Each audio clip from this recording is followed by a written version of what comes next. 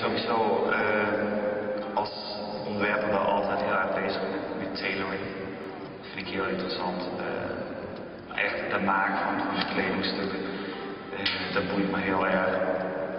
Dus daar zit wel altijd een soort van Colbert of iets wat afgeleid is van een getailerd.